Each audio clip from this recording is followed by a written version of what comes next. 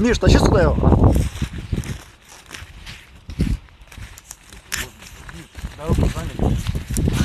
Да нет, может быть, это лучше.